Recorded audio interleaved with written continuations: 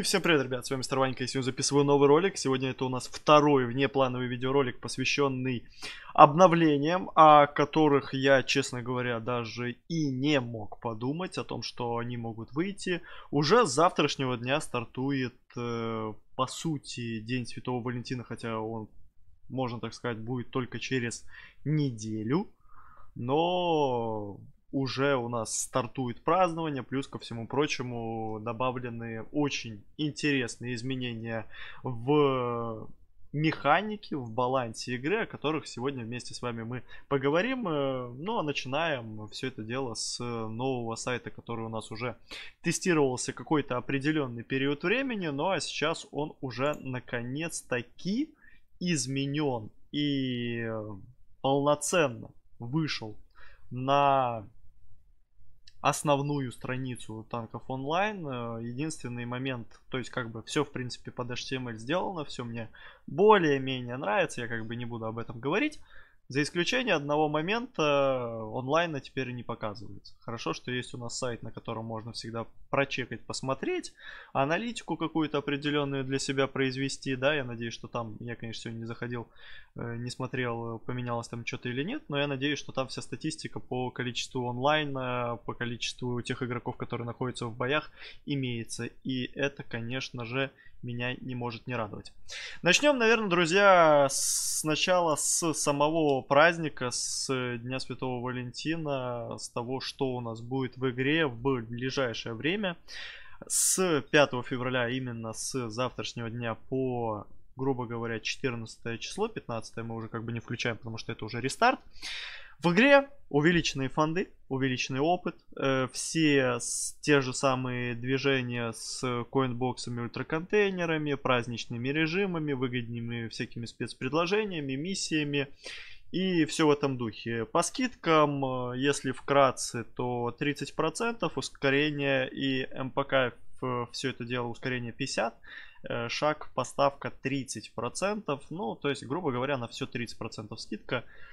Ну, не сказать, что круто, но как бы лучше, чем ничего. При том раскладе, что это по сути э, только 14 февраля, есть у нас дальше 23, есть 8 марта, да, то есть это те праздники, которые всегда в танках чаще всего э, идут с хорошей скидкой, поэтому здесь 30% это так чисто бонус для тех ребят, которые, например, вдруг резко хотят что-то прокачать и купить. Дальше праздничные режимы. Э, здесь у нас их, э, как бы получается, один режим, но три карты. Борда, Рио, Серпухов до 20 игроков на карте. Повышена вероятность выпадения золотых ящиков. То есть можно неплохо так поголдоловить. Рио, Борда мне нравится, Серпухов нет. Серпухов я вообще считаю, что здесь ни к чему. Борда, Рио, да, очень крутые карты и со своей историей определенной, да, и в плане точек там тоже много чего интересного есть по голдоловству, я думаю, что это круто.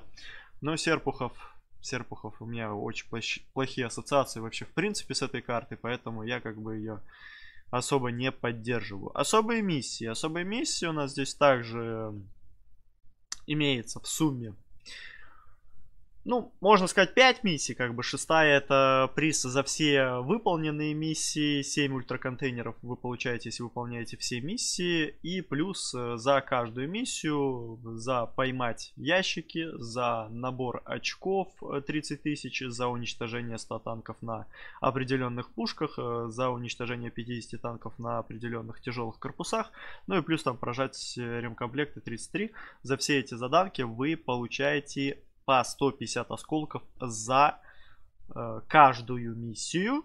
Плюс 50 звезд. Ну а 150 осколков это, грубо говоря, полтора контейнера по нынешней мете, которая у нас имеется в игре.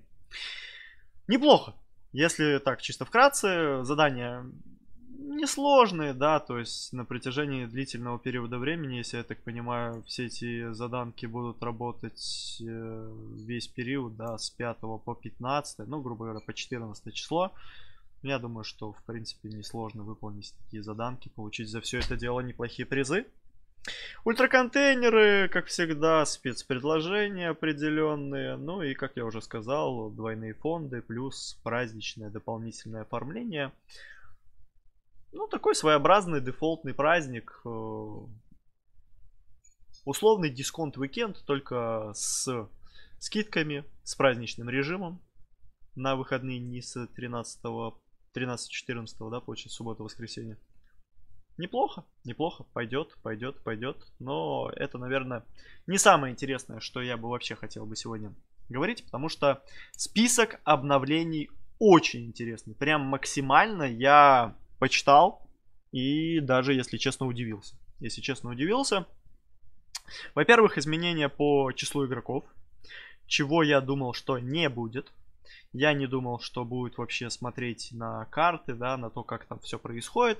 Но изменения есть. Есть э, большие карты, на которых увеличено количество игроков. Есть э, карты, на которых э, уменьшено, да, то есть Чернобыль, пустыня, я тут смотрю, э, Оса, Иран, Red То есть немножко подбалансили, посмотрели, где лучше, как. Но я думаю, что это еще будет перебалансивать не один раз, да. То есть если у нас тут были карты 12 на 12, то теперь я смотрю, что максимально 10 на 10. Максимально 10 на 10. Больше никаких 12 на 12 что-то у нас нет. Дальше интересные изменения в балансе уже дронов, пушек и по корпусам. Но здесь тоже по хопперу есть изменения по защитнику. Теперь он уже дает 20 секунд бонусного эффекта вместо 30. То есть если полноценно у нас э, весь период э, расходки, которую вы, например, прожали, я имею в виду именно броню, работал защитник и давал дополнительный эффект в полтора, если я не ошибаюсь, раза больше брони, то теперь этот эффект будет работать 20 секунд, расходка также у вас, например, работает 30. То есть уже ну, больший нерв, больший нерв защитника и, возможно, момент, э, который заставит задуматься о смене данного дрона, например, на бустера. Дальше. Жесткий ап Изиды плюс 15, целых 15% больше урона на всех модификациях. Я считаю, что это тотальная, полнейшая имбище. Она и как бы эта Изида и так довольно-таки неплохо нагибала, но 15% это очень много. Это очень много. И если на цифрах это выглядит реально жестко, то я думаю, что на игре это должно отразиться еще сильнее. И плюс для матчмейкинга дополнительно использование, например, на Изиду устройства адреналина, это, ну, просто кинцево, можно так сказать. Это очень жестко, очень жестко, я не знаю. У меня такое ощущение, что с таким балансом там... Ну, это жесткий байт на покупку Изиды, то есть, скорее всего, э, процентуально очень маленькое количество игроков играет на данной пушке, и разработчики игры решили, чтобы подзакупились, подзакупились изидами, так сказать, э, День Валентина, там все дела, изиды в мете. Нате, радуйтесь, играйте, нагибайте, так сказать. Пушка молот перезаряжает кассету на 2 секунды быстрее на всех модификациях.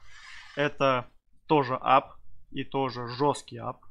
Я думаю, что молот полноценно возвращается, хотя он и так для меня был в очень неплохом балансе, но это еще жестче ап, да, то есть Зида, Молот, то есть и ко всему прочему еще и ап Страйкера. То есть все, ну ладно, не три, но для меня две пушки, на которых я в последнее время играл, да, то есть на Зиде я не скажу, что я там особо играл, они идут в плюс баланс. Страйкер перезаряжается быстрее, написано, что как бы, ну, знаете, там 0.3, 0.3 секунды, да, то есть при прокачке МК-7, да, то есть, ну, не так много, да, якобы, якобы не так много, кажется, но э, я думаю, что это будет чувствоваться. Я думаю, что это будет чувствоваться. Плюс ко всему прочему, здесь написано про то, что начальная скорость ракеты повышена на 5 э, метров в секунду, да, то есть 5 метров это если я не ошибаюсь, длина одного танка у нас в игре, да.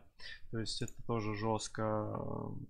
Если все это дело будет работать еще и дополнительно с устройствами, то есть в моем понимании страйкер это, ну, наверное, уран, да, для больших режимов уран.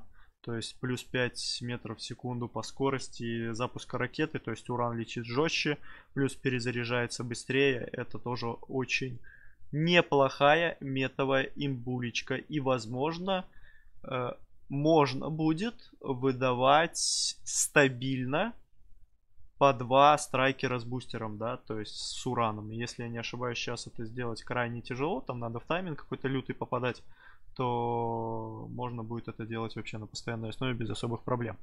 Также по корпусу, наконец-таки у нас начинается потихонечку нерф Хоппера.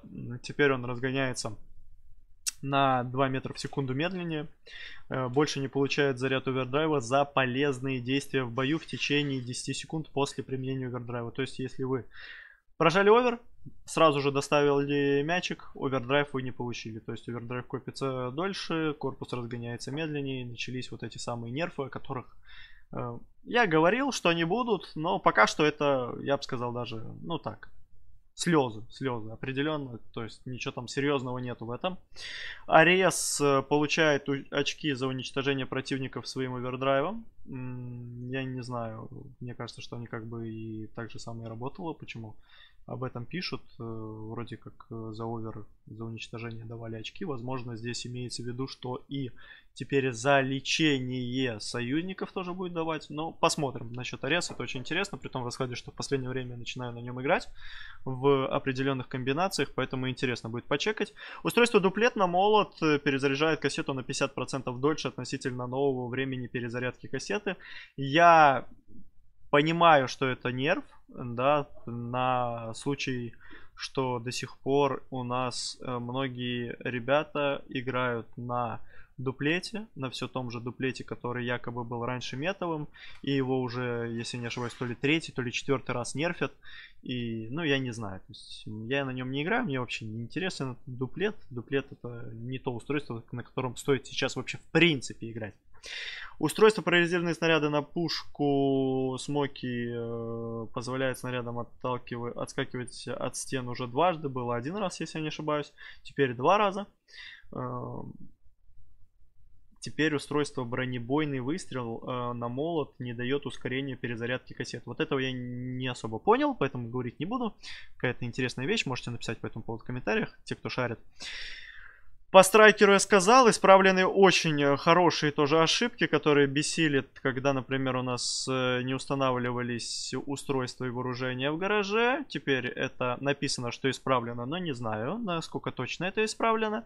Не отображались устройства в меню, да, у меня тоже это было. Перезаходить приходилось, написано, что тоже исправлено.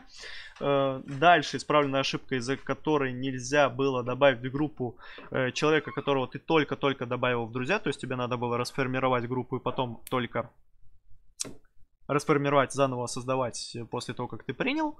Э, теперь этого делать не придется. Тоже ошибка, которая мне мешала. Последние пару-тройку дней, да, были такие у меня моментики.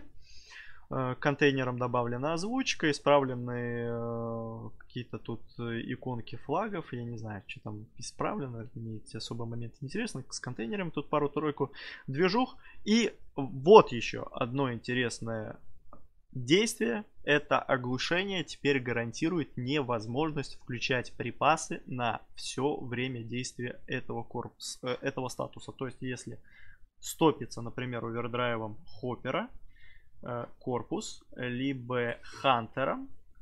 Пока у вас работает оглушение, пока вы стоите вкопанные, вы не можете юзать свою расходку. То есть до этого этого можно было сделать, скорее всего это была ошибка. Теперь этого сделать нельзя. Ну и добавлена возможность игнорировать игрока через меню. Кон контекстно написано.